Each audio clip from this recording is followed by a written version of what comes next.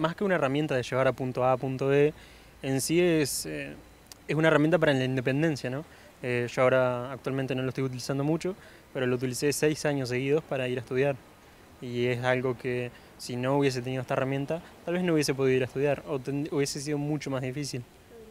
Eh, más allá de, de eso, la, la, utilidad práctica en sí es, es algo que empodera a las personas con discapacidad o a las personas, a los adultos mayores, eh, porque da la independencia de ir a un lugar, de mejorar, de ir al médico, ir a trabajar, ir a estudiar.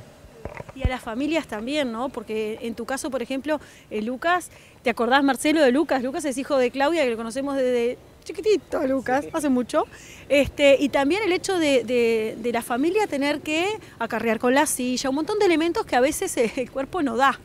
Sí, la silla, blandador, o incluso a veces la silla no se desarma, como este es el caso, por ejemplo, y, a veces no, el equipamiento no, está para, para, llevar de punto A a punto B.